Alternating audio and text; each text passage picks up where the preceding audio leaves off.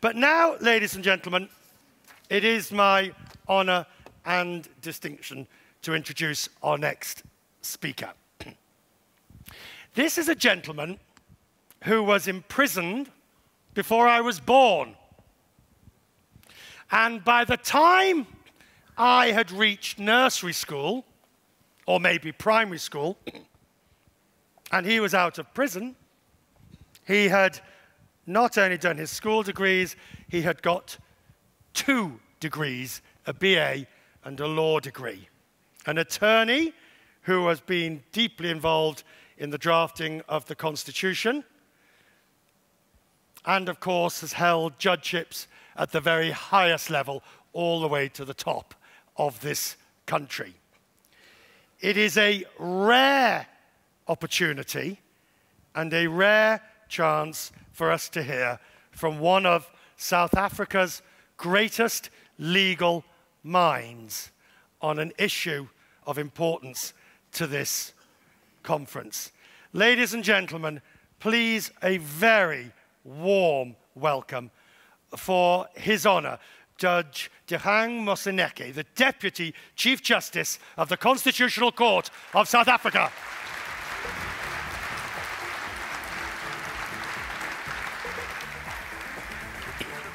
Thank you, Judge.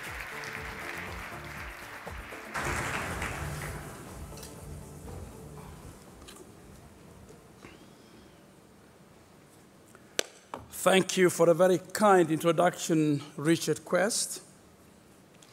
Good morning, ladies and gentlemen. Mr. President, I guess I should say, and to the incoming president, the CEO, Mr. Gopal, Mr. Quest, esteemed guests, and ladies and gentlemen, it is indeed a privilege to join you on this wonderful morning. I'm somewhat intrigued that you doyens of property in our country would want to have a lawyer and a judge at that in your midst on an occasion as special as this. You may very well be familiar with the story of a hostile business takeover in Chicago. The mafia stormed into the headquarters of a profitable and reputable liquor chain store in Chicago. Their guns were drawn and on the ready. As they held up the headquarters, one of the mafia broadcasted rather loudly this is a hostile takeover, but certainly no lawyers, no lawyers. The mafiosi had worked out that things go better without lawyers. You may well be the worst of this morning for not having observed the dictum, certainly no lawyers. I'm nonetheless here and I'm grateful for being afforded the opportunity to reminisce, I was asked, over a century of intractable land and property arrangements in our country since the enactment of the 1913 Act. In the time you and I have this morning, I can only resort to broad brushstrokes in telling a compelling story that straddles over a century.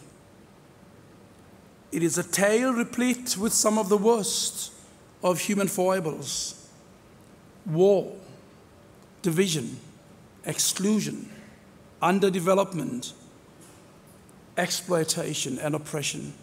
It is a story of human indignity and pain, but it's also a story of renewal. the story of a new dawn.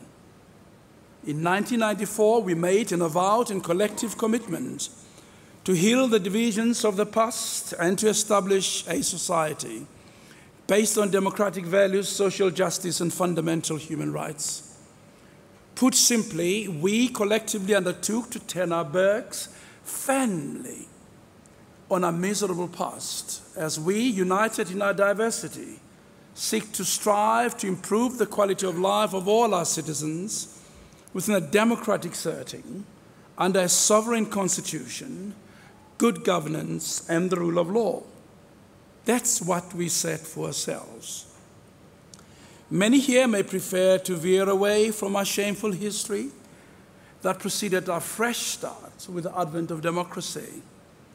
And yet, our undertaking to change our world can only be real if we know and acknowledge our past.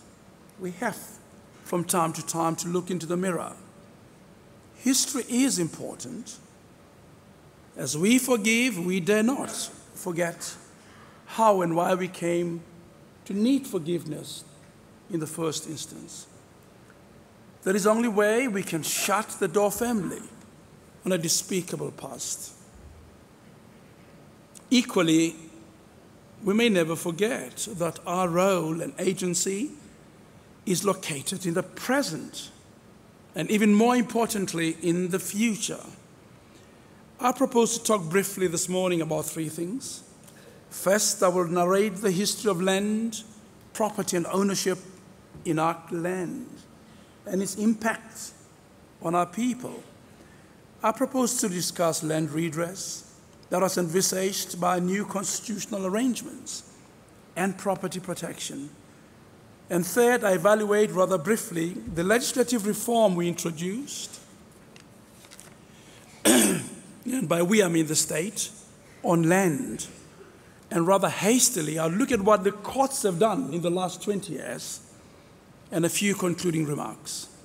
Well, let's get on with it. there have always been controversies around land in our country. But the most appropriate point to start must always be a hundred years ago, when the Native Land Act in 1913 was passed. It represented, as you'll see in a moment, a climax. It can be validly argued that of the two and a half centuries of colonial incursion in the southern tip of our land, 1913 was a defining moment. Indigenous African people waged, by then had waged at least eight frontier wars along the receding borders of the Eastern Cape. Nkosi Dingani of the Zulu and his warriors waged wars warding off colonial dispossession in KwaZulu Natal. A little later, at the end of the 19th century, we remember well Morena Mushweshwe, Nkosi Ngungunyani, Khosi Kaswani, Khoshi Sekhukhune, leading their people and ultimately succumbed in various battles of dispossession just about the end of the 19th century. In the end, we all know indigenous people succumbed. They lost their right to land as conquest increased its grip. We must then turn to the 20th century, and at its turn, we saw secondary wars the war between Dutch settlers and British settlers. The two Anglo-Boer wars, if you will, Vryheids Oorlog, probably more appropriate, because it was a ward off, trying to ward off British incursion. Followed, as you'll remember, by the peace treaty of the Seine River, your high school history, which was concluded in 1909. And shortly thereafter, in 1910, the Union of South Africa was formed. It's again a negotiated constitution sanctioned by the British Imperial Parliament, disenfranchised virtually all black people. The new state was animated by the resolve to consolidate the colonial spoils of nearly two and a half preceding centuries and to protect its main stakeholders and that they thought they would do best by imposing a constitution that would have racial, spatial, and economic separation. That was in 1910. One of the first acts the Union passed was the Native Land Act in 1913. In its initial terms, only 8% of the total land area of our country was reserved for native occupation. In 1936, land available for use by Africans was then increased by 5%, bringing the total to 13% of the total area of our country. I must quickly add that much of the land remained in the ownership of the state through the South African Development Trust. So, in effect, African people owned no land after their conquest and the induction of the 1910 Union Act. So, the legal artifice of a trust meant that in law, the land vested in the trustee. And we know who the trustee was the government. And therefore, virtually, as I said, no black person, in effect, owned land by 1913. Many traditional communities, of course, continued living on the land. They grazed their cattle there, and they buried their dead there, but never acquired registered title, as it all vested in the trust. A few traditional communities managed to have their land converted into binding title. These they would have bought from farmers that had acquired title. And the most immediate example is the Royal Bafokeng people, who rebought their land and they're happy about the outcome today. Now, the main purpose of the 1930 Land Act were firstly to make more land available to white farmers, to regularize their title under the color of, of law and not conquest. And its impact was, of course, was to impoverish black people through dispossession, prohibition of forms of farming arrangements that permitted food security and self sufficiency. Thirdly, there was, of course, also the purpose of enforcing a policy of racial and spatial segregation which had previously not been consistently enforced, particularly in the colonial governments in the Cape and in Natal. You'll remember that there, some African people and colored people and Indian people were permitted qualified franchise, which was taken away in 1954 by the nationalist government. Therefore, the Native Land Acts, in effect, confined indigenous people to reserves in the remaining marginal portions of land, which are mostly, we all know, it's fact, desolate and barren. Indigenous people were gradually converted from once successful farmers to poorly paid wage laborers. The Native Land Act also abolished sharecropping system, which often was entered into between farmers and indigenous people, and labor tenancies that were alternative strategies for survival of indigenous people and access, secondary access to land. Over time, therefore, a significant number of people, rural people, became laborers. But others remained in rural reserves, as we know, and became migrant workers. At best, they had a shaky link to land or any other form of fixed property. The social cost of the migrant labor system to indigenous people was and remains self evident. Massive social devastation. In the next 40 years, more legislation was passed to reinforce the scheme of the Native Land Act. We all know the National Party took over government in 1948, and soon after the Group Areas Act was passed. You will live there and there only.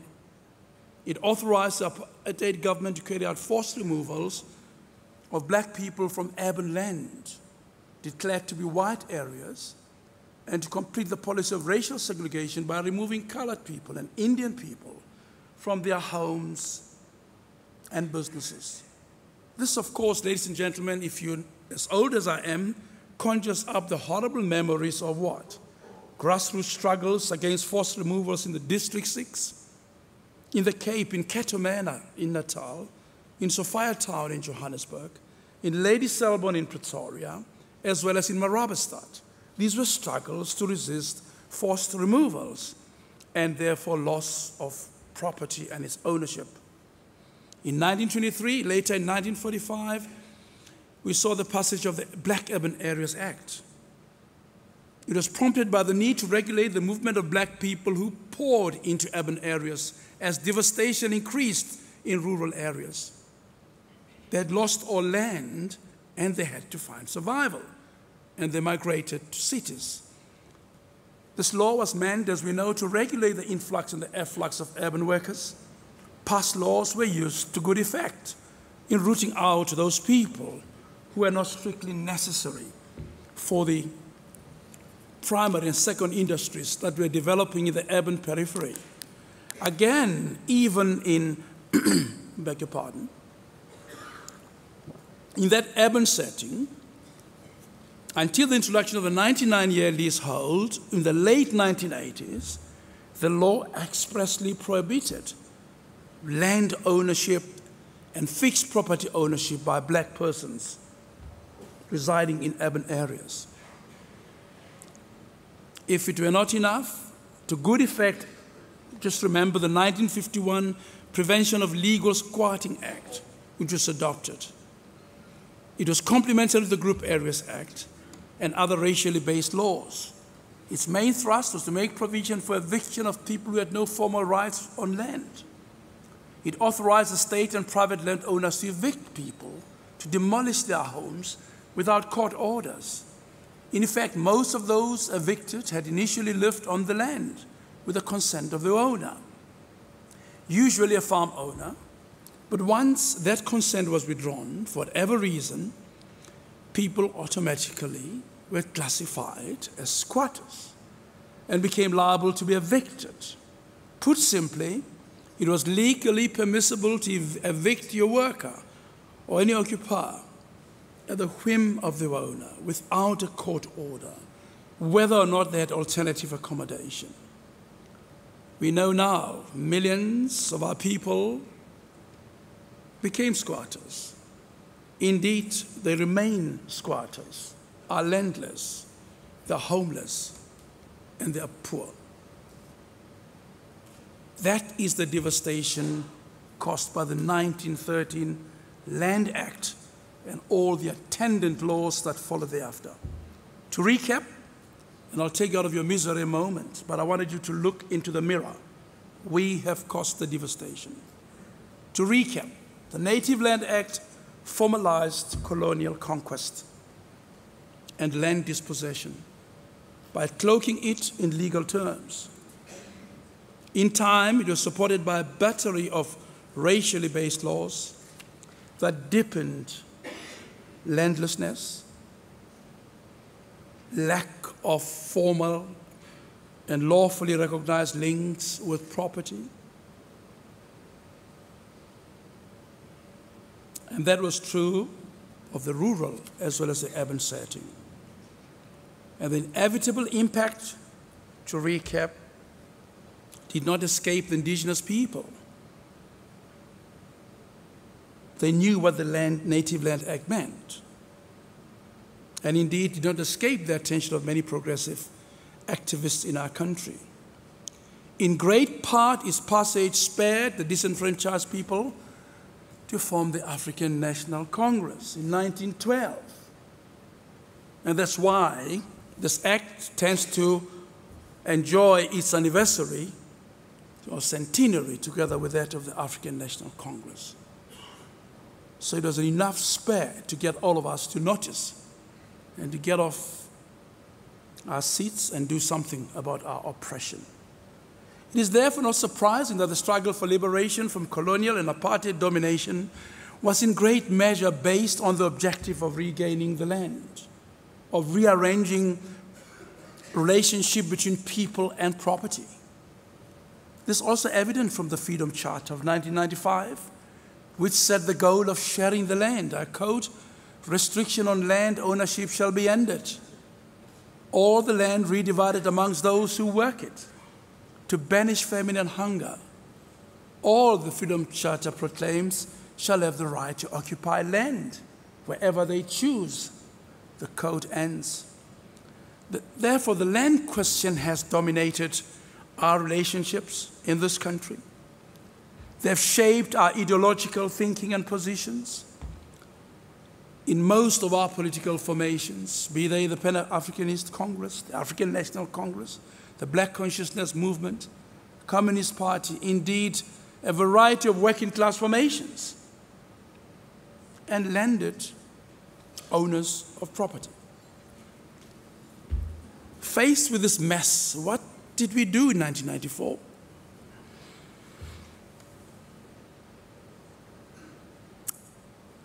Nineteen ninety four came and promised a new dawn. In the negotiating process, political rights and fundamental guarantees were quickly agreed upon.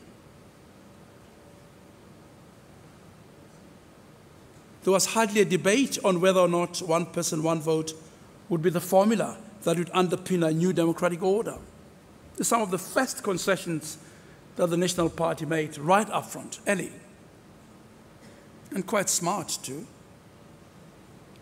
Entrenching, for instance, a catalogue of fundamental rights was a given.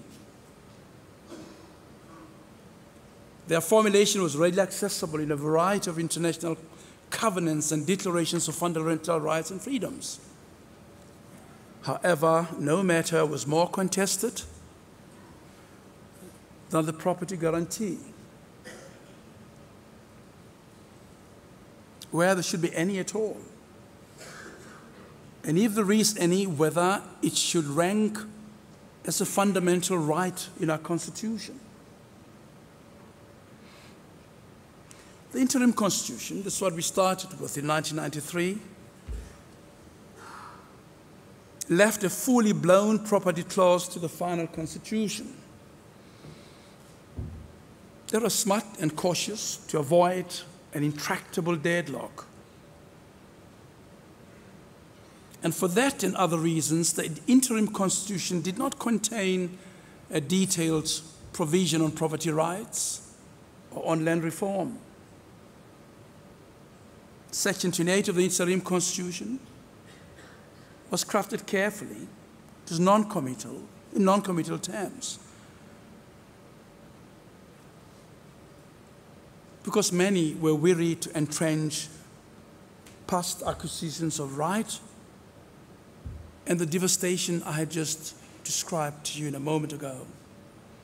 Each term simply read, every person shall have the right to acquire and hold property, right to hold rights in property. Every person shall have the right to acquire and to hold rights in property, and to the extent that the nature of the right permits to dispose of such rights. So the provisions were futuristic. They did not seek to deal with the past, but to entrench the right going forward. And sub 2 says no deprivation of any rights in property shall be permitted. Otherwise, that in accordance with the law.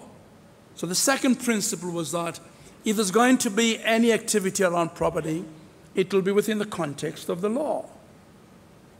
In other words, there'll be no invasions, there'll be no unlawful conduct. It will be mediated around the space that the law creates. Therefore, Section 28 further assured all that where rights in property were expropriated, as I've said, in accordance with law, and it shall be permissible only if it is for public purpose. And it shall further be subject to payment of an agreed compensation or compensation determined by a court. So that was the first step in trying to find an accord around this intractable question of land and property. The legal effect of these provisions, I'll explain very briefly, seem to have been that interim constitution protected the right to acquire, to hold, and to dispose in the future, and protected that class of property against expropriation if it is not for a public purpose. So you wouldn't walk over to your neighbor and take their property. You'll have to pursue a public purpose. And it will be against an agreed or equitable compensation. Equally striking at that early time was that the right to existing property was not written in as a fundamental right alongside other rights rights to dignity, to free expression, to integrity of the person, right of movement. It did not rank that high. It must be added that there was also a provision directed at land redress in the initial stages in the form of right to restitution of land for persons and communities dispossessed of such lands. Of course, we remember that the interim constitution was short lived and it was intended to be a transitional constitution. It gave way to the 1996 constitution, which was drafted by a democratically elected constituent assembly. And we thought that would optimize its legitimacy that the constitution be drafted after the election.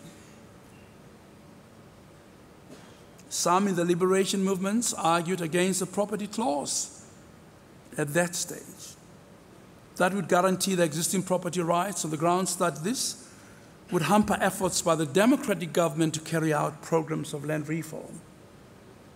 It was also argued that to entrench existing property rights in the new constitution was to legitimize and entrench as a human right the consequences of generations of transgressions and dispossession. In contrast, the negotiators, particularly from the past government, argued strongly for inclusion of such a clause to ensure that land would not be nationalized and transferred to the land hungry majority without compensation to current owners. To those of us who sat around the table and invited to write, can tell you that probably was the biggest test in our transition. Eventually, all parties agreed to a text that would be included in the Bill of Rights. And that made the settlement possible, I suppose. Let's look at the property clause briefly and move on quickly to some closing remarks. The 1966 text was, a more, detailed, was more detailed, firstly about land reform. It has located the property protection, as I've said, in the Bill of Rights but in its text stopped short of guaranteeing anyone the right to property. The primary protection in Section 25 of the Constitution is couched as a compromise and it is in negative terms. I invite you to take time and read it sometime. It reads No one may be deprived of property except in terms of a law of general application. And no law may permit arbitrary deprivation of property. So we know two important things. When you hold property, you may not be deprived of the property except by a law of general application. So there could be a law that could actually authorize deprivation of property. And if such a law is made, it will not permit arbitrary deprivation. Textually, the protection is against arbitrary deprivation of property. However, deprivation may occur through law of general application, as I've said, provided it's not arbitrary. So we don't wake up one morning and decide to take everybody's backyard and use it for one thing or the other. It has to be done with the context of a law and must pursue some legitimate government purpose. And the law may not be irrational and may not be to pursue anything other than what is legitimate and a valid governmental purpose. A school, a road, a clinic, a training center, or some other vital thing that would change the course of our collective lives. The property clause also provides for the power of the state to expropriate private property for public purposes. There is, of course, a difference between expropriation and deprivation. Deprivation speaks to temporary and limited form of deprivation of property. You may not drive your car here. You may not use your property for this purpose. You may not sell alcohol. All these are deprivations on how you may use your property. However, expropriation is in very simple terms, an actual takeaway of somebody's property by the state. That the Constitution permits, provided it is in the public interest and subject to just and equitable compensation. Public interest is specifically defined to include the nation's commitment to land reform and to reforms to bring about equitable access to all South Africans' natural resources. So a government could pass laws that were directed to bring about a more equitable access to all South African natural resources. Section 25, 3 in particular of the same clause says the amount, the timing, and the manner of payment of compensation must be just and equitable, reflecting an equitable balance between public interests and the interests of those affected,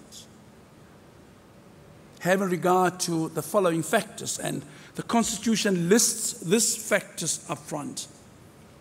The current use of the property, the history, its acquisition of the property, its use, the market value of the property, the extent of direct state, state investment and subsidy in acquisition, beneficial capital improvements on the property, and the purpose of the expropriation.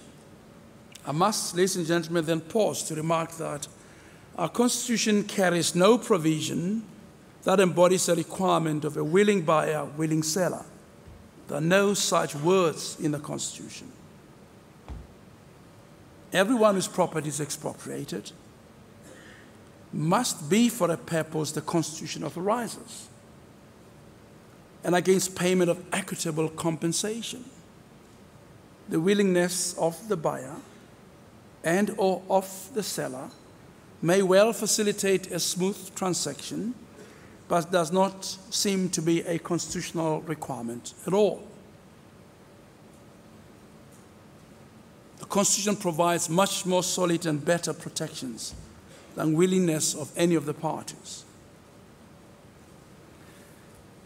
The property clause, therefore, embodies a claim to immunity against uncompensated expropriation to private property. In addition, the clause includes specific provisions on land reform, which impose obligations on the state to bring about greater access to land. Moreover, these provisions embody three different aspects of enhancing access to land which are re re restitution, redistribution, and land tenure reform. To recap, the bargain is there will be no interference with property deprivation or taking away property without compensation on the one hand, and on the other, the state is obliged to adopt measures which will increase and enhance access to land. And the law defined this in three categories restitution, redistribution, and land tenure. It's a delicate balance, and it has certain consequences to the kind of jurisprudence and what the courts have done up until now. Briefly, restitution relates to land rights that have been dispossessed in terms of apartheid laws. And most of you are well familiar with all the land claims that are winding their way through the courts very slowly. They relate to restitution of land rights, and a law has been passed to that effect. Improvement of security of tenure to those whose land rights have been weakened by apartheid laws. We've talked about that. And that explains why the government has the power in law to convert and has converted most of the title in the townships into freehold title and not rental title as it was for many, many years. And the third measure government is obliged to do is to introduce measures to increase access to land. To that end, the government has passed many laws the Restitution of Land Right Acts, the Land Reform Act, the Extension of Security of Tenure Act, the Development Facilitation Act, the Upgrading of Land Tenure Acts, the Interim Protection of Informal Land Rights Act, Communal Property Association Act. They all share the same purpose, that is to secure land rights for people who are previously deprived of land. They all refer to disadvantaged and vulnerable communities and groups of people in our society. The most recent version of all this legislation is the Communal Land Rights Act, and which was intended to be an instrument by the Department of Land Affairs to give effect to tenure security and redistributive state owned land. The question must be asked whether our lot has changed because of these laws.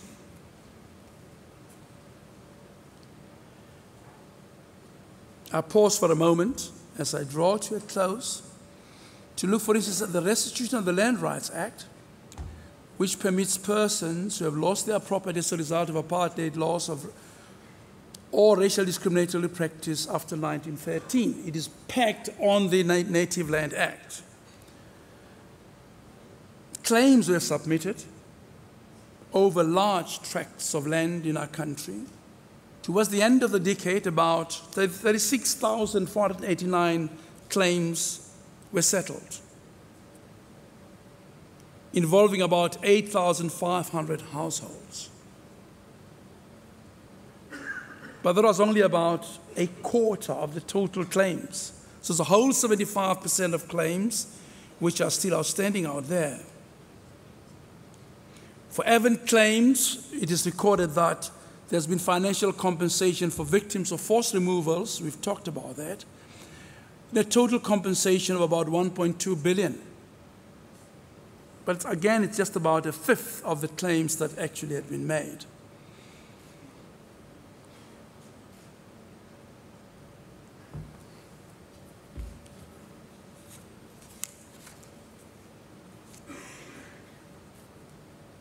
And therefore, 100 years later, we must ask whether the restitution of land has promoted greater land equity.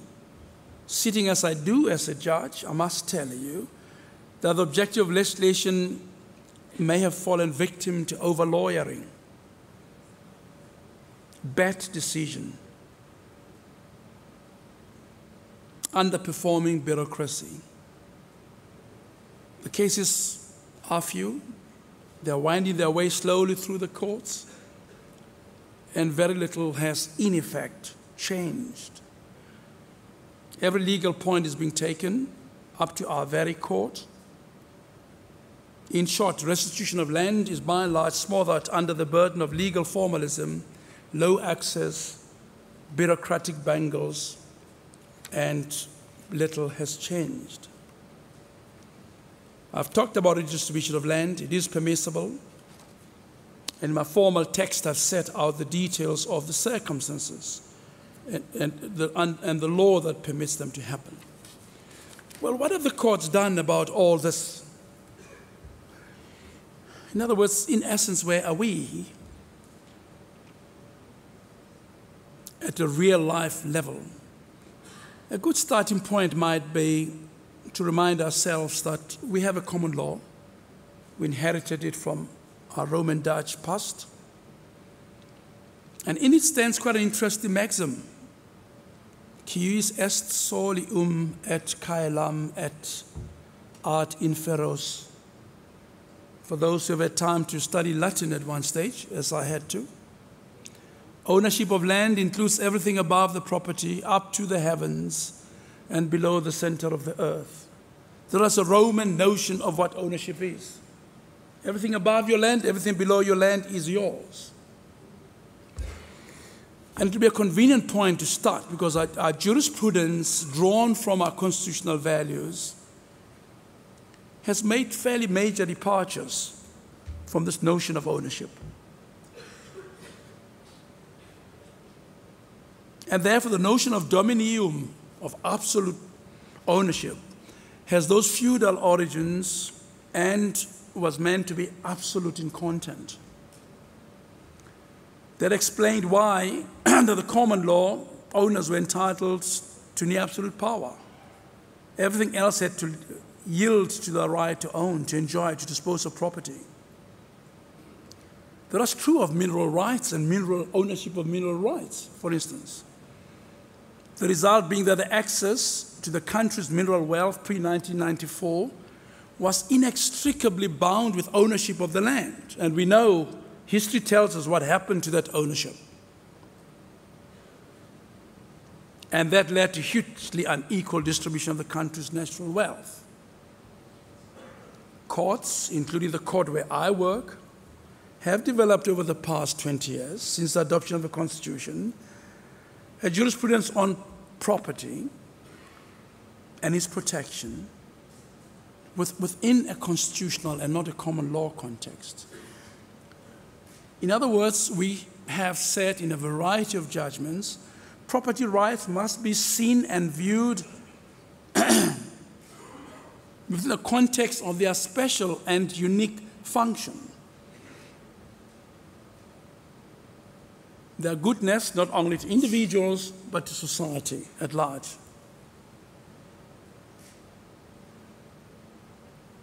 As we have heard, existing property rights may be interfered with, but only within the context of our Constitution. And courts have emphasized that it will happen only in that context. It will be lawful, it will be constitutionally authorized, but not always with the consent of the owner, who is entitled to compensation.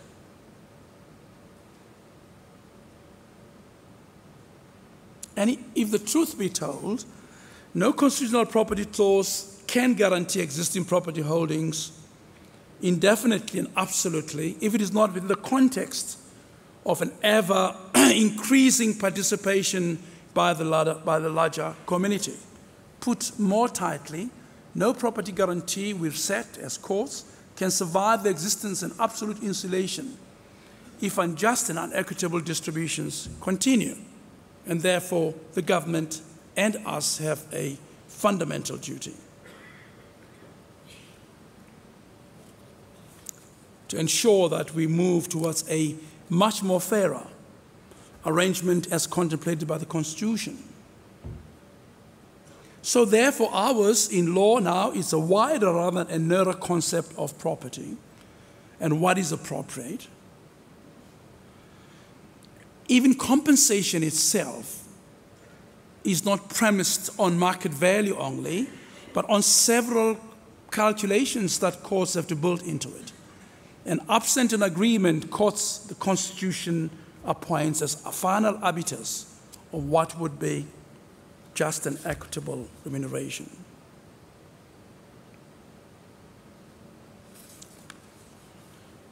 We've done a few other things in the past 20 years in balancing rights between ownership and other interests in society. We've, for instance, insisted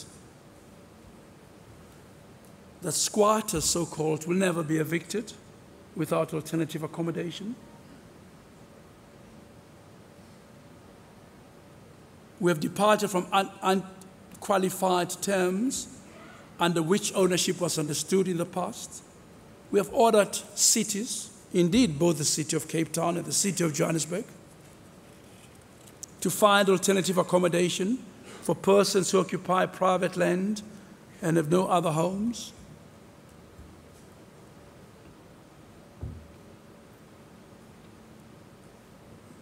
We've required private landowners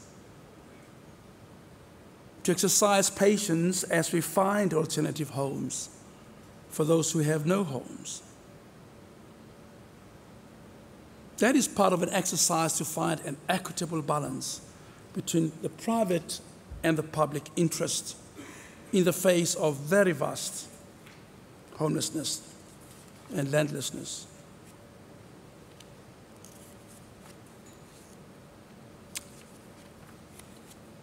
I've paged past several pages to go to my conclusion, and these may be read at your leisure when you find it appropriate. I say much about what the courts have done in relation to mineral rights and property, what the courts have done in relation to fairness in eviction. And remarkably, We've had no case, not even one, coming up to the Constitutional Court on compensation. And if we go through our law reports, there is no significant disputes that have occurred around expropriation. The explanation might be that the negotiations go rather well, and we're in a placid country, and issues of fair distribution of land and properties, access and use, and exploitation are being well managed. Or it may mean so little is being done that, in fact, there's never been an owner who has rushed to our court, and I'd expect to have had that in 20 years, and say, My property has been taken and I have not been fairly compensated. I'm uncertain at this stage whether we're doing well or we're doing so little. Our government is doing so little around redistribution of land that, in fact, there is no conflict. I would want to hope for the more positive speculation. But courts are simply not seized with battles around land. It may be a good thing. I must end.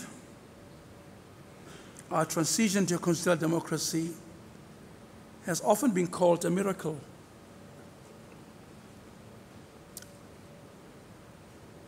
It is, depending on where you stand.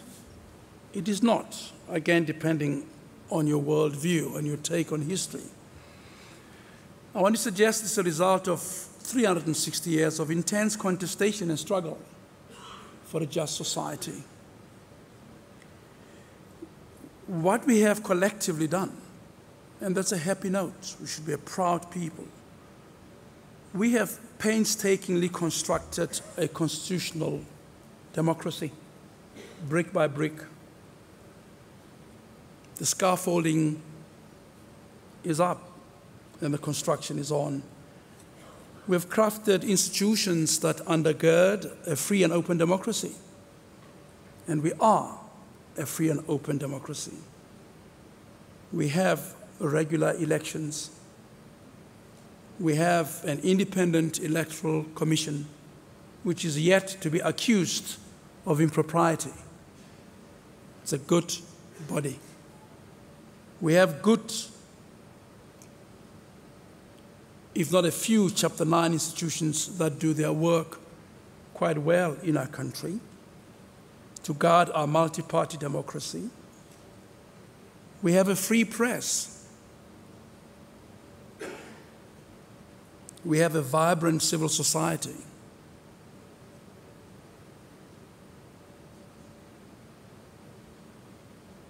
If you did something untoward, you're in public office in this country, you'll hear about it. It doesn't matter who you are.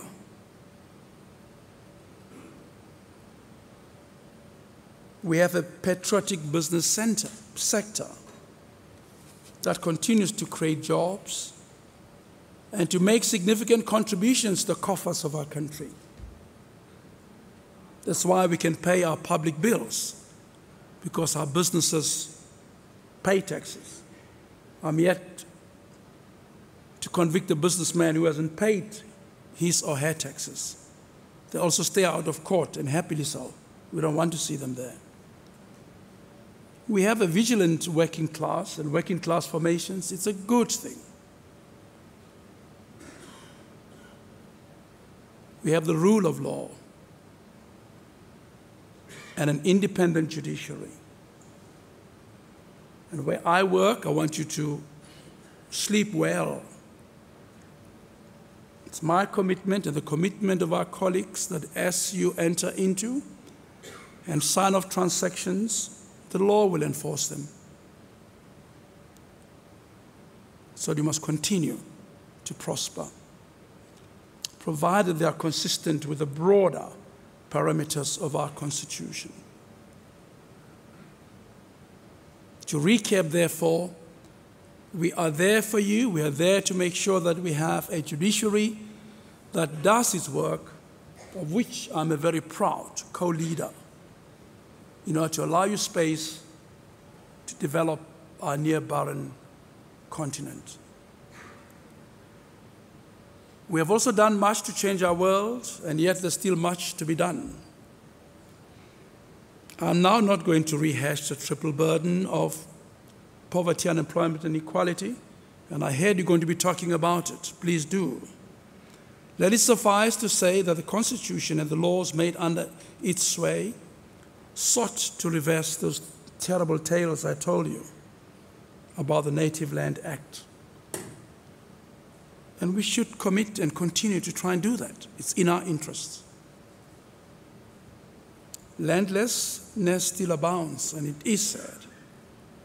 Many remain homeless.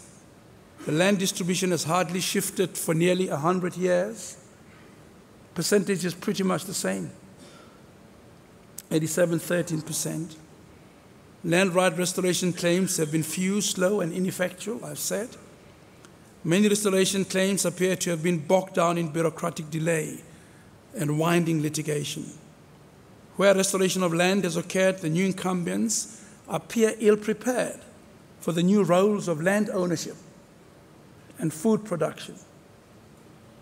Moreover, urban migration has not abated. we see the number of cases we deal with in our courts. Rural homesteads have been left for overcrowded and squalid urban informal living. So the dream of instituting an idyllic countryside for our country is proving elusive, is yet to be realized. And I'm not suggesting that we have not built many low cost homes. We have. Or that we have not converted many tenuous titles of land into freehold title at no cost to title holders. We have.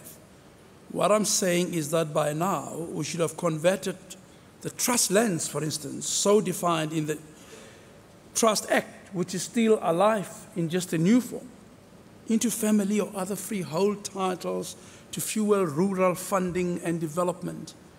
We must find new beneficial and innovative ways to secure land property and, and, and equity.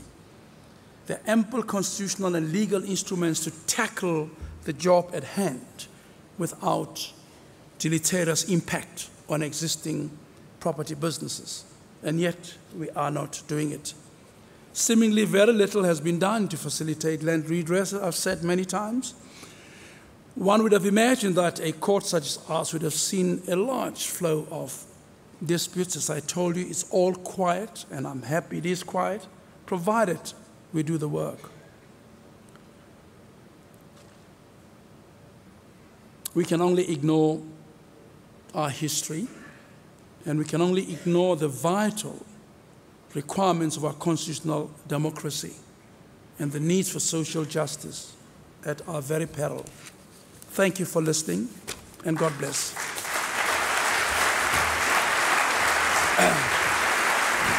Stay there, Judge. Stay there.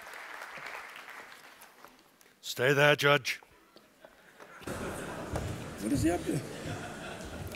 One of the few privileges of to tell judges what to do. Stay there. one question. Just one. And I'm aware, of course, that I must not lead you into temptation or take you down paths that could be judicially inconvenient. So the question is this, Judge. What do you think is the biggest threat, the biggest constitutional threat that South Africa faces at the moment? Uh oh.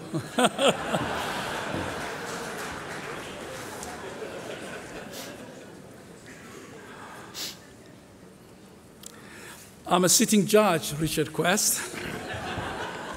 I'm not a retired judge. Yet. Let's wait for the answer. so, Judge, let me rephrase the question then. In, in, the, in, in the great annals of, of that you've just talked about, freedom of speech, government, good governance, all those issues that you talked about, where do you put property rights? as being an important constitutional importance and right. Where in the list of things for constitutional importance would you put it? Well, let's start with your first question in any event. I mean, we have a covenant concluded in 1994. The covenant seeks to migrate us from one ugly space to a good space.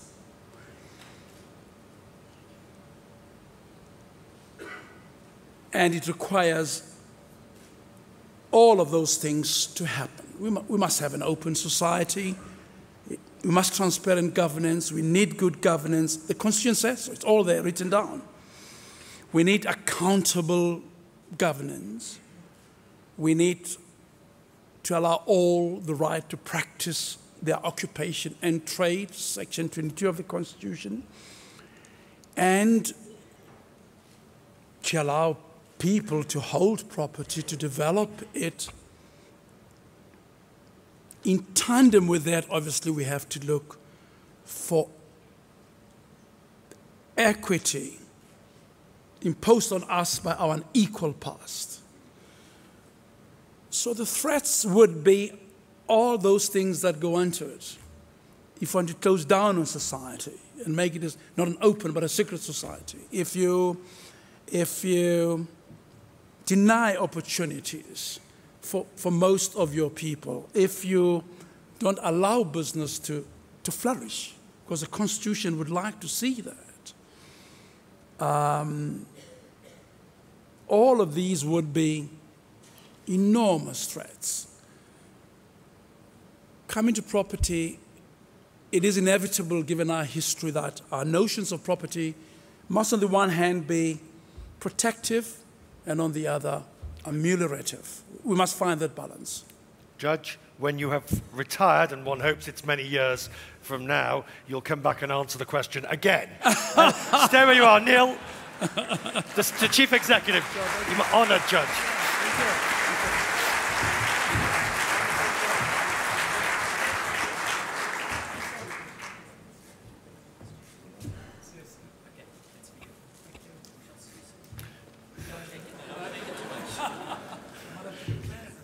Uh, yeah, uh, yes, you will, of course, Judge. You, you, you'll declare it appropriately on the, on the relevant form at the relevant time. Ladies and gentlemen, the Judge.